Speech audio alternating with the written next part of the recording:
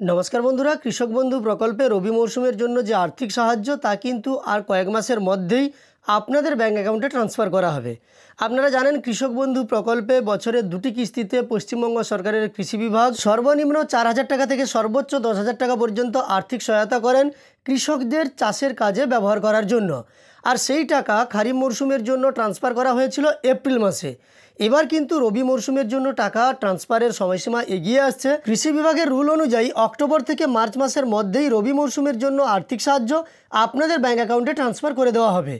তো আজকের এই ভিডিওর মূল বিষয়বস্তু হচ্ছে এই যে টাকা ট্রান্সফার করা হবে, তা ডিবিটির মাধ্যমে অর্থাৎ ডাইরেক্ট বেনিফিট ট্রান্সফার করা হবে, না এনইএফটির মাধ্যমে আপনাদের ব্যাঙ্ক অ্যাকাউন্টে যেভাবে পাঠানো হতো সেভাবেই ট্রান্সফার করা হবে?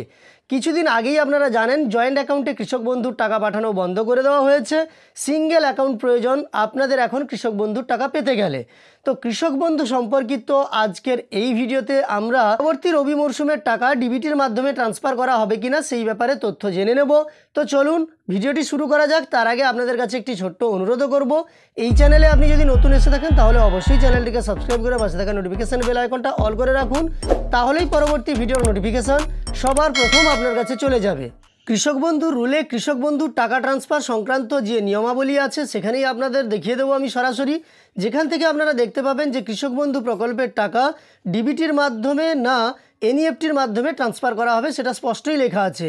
তো আপনারা এই জায়গাটাতে লক্ষ্য করুন, এখানে কিন্তু খারিফ এবং রবি মরশুমের টাকা, যেটা কৃষক বন্ধু প্রকল্পে পশ্চিমবঙ্গের স্টেট কোঅপারেটিভ ব্যাংকের পক্ষ থেকে আপনাদের ডিবিটির মাধ্যমে কিন্তু ট্রান্সফার করা হবে, এটা লেখা আছে।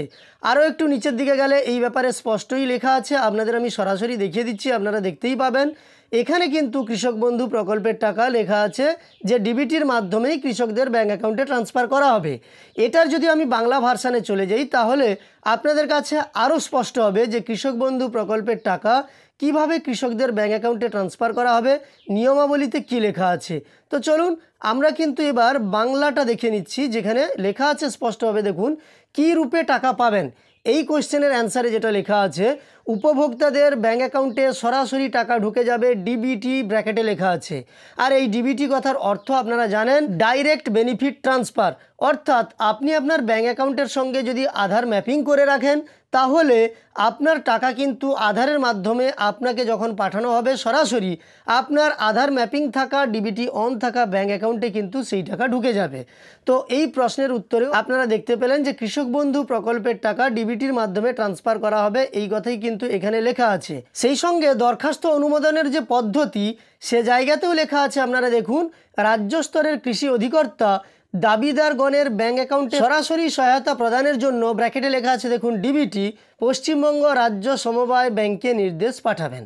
অর্থাৎ সব জায়গাতেই আমরা দেখতে পেলাম যে কৃষক বন্ধু প্রকল্পের টাকা ডিবিটির মাধ্যমে ট্রান্সফার করার জন্য কিন্তু নিয়ম আছে। এবার কথা হলো এইবার, অর্থাৎ দু হাজার তেইশ সালে রবি মরশুমের জন্য যে আর্থিক সাহায্য কৃষক বন্ধু প্রকল্পের মাধ্যমে পাঠানো হবে তা ডিবিটির মাধ্যমে না এনইএফটির মাধ্যমে ট্রান্সফার করা হবে। দেখুন এখনও পর্যন্ত আমরা দেখেছি এনইএফটির মাধ্যমেই কৃষক বন্ধু প্রকল্পের টাকা কৃষকদের ব্যাঙ্ক অ্যাকাউন্টে ক্রেডিট হয়। নতুন করে ডিবিটির মাধ্যমে ট্রান্সফার করার কোনো কথা কিন্তু পশ্চিমবঙ্গ সরকারের কৃষি বিভাগের পক্ষ থেকে জানানো হয়নি এখনও পর্যন্ত।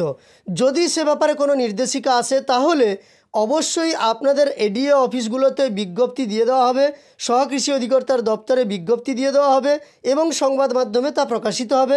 সেই সঙ্গে যাদের ডিবিটি নেই তাদের কিন্তু কৃষি দপ্তর থেকে জানিয়ে দেওয়া হবে। এখনও পর্যন্ত যেহেতু কোনো নোটিশ আসেনি বা সেভাবে কোনো বিজ্ঞপ্তি প্রকাশিত হয়নি, আমরা আপাতত নিশ্চিন্ত থাকতে পারি কৃষক বন্ধু প্রকল্পের টাকা আগের মতোই এনইএফটির মাধ্যমে কৃষকদের ব্যাঙ্ক অ্যাকাউন্টে ট্রান্সফার করা হবে। যদি নিয়মের কোনো পরিবর্তন করা হয়, যদি কৃষক বন্ধু প্রকল্পের টাকা এনইএফটির মাধ্যমে না দিয়ে ডিবিটির মাধ্যমে ট্রান্সফার করা হয়, তাহলে তার ইনফরমেশান আপনি এই চ্যানেলেই পেয়ে যাবেন। তাই চ্যানেলের সঙ্গে যুক্ত থাকতে অবশ্যই চ্যানেলটিকে সাবস্ক্রাইব করে পাশে থাকা নোটিফিকেশান বেল আইকনটা অল করে রাখুন।